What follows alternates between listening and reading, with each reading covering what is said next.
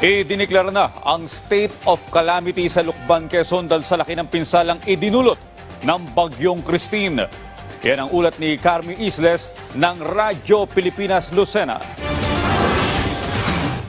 Narito tayo ngayon sa paralang elementarya ng Lukban dito sa Quezon at sa likod ko ay ang nawasak na covered court ng paaralan kasama pa ang tatlong classrooms dahil sa pagtumba ng isang mahogany tree dahil sa malakas na hangin na dulot ng bagyong Christine. 6 million pesos ang tinatayang pinsala sa paaralang ito pa lamang. Dahil pa rin sa malakas na hangin dulot ng bagyong Christine at sa mga natumbang puno, 160 na bahay pa sa iba't ibang barangay ang napinsala. Ay, ayan po, nung pong mga bandang mga 2.30 o mag ah, alas 3 ay pakiramdam ko po iba na po ba yung uga niya. Ay di kami po ay lumikas na agad na mag-anak na kay silong na po kami doon sa kapitbahay po namin doon. Ay sana po ay kahit yero o kaunting ano lang po kahoy.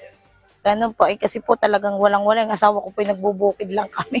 Nadamay din ng government-owned water lines kaya't hanggang ngayon ay wala pang supply ng tubig ang malaking bahagi ng kabayanan ng Lukban. Sa agrikultura, 198 na magsasaka ang apektado, 29 million pesos ang pinsala sa high-value crops, 50,000 pesos sa organic farming, 450,000 pesos sa aquaculture, 2 million pesos sa rice, at 180,000 pesos sa livestock.